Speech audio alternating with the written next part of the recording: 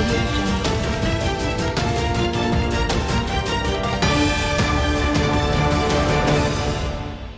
very nice show. people have come from England just to watch the show. Really thoroughly enjoyed it. And I hope Shweta will be success.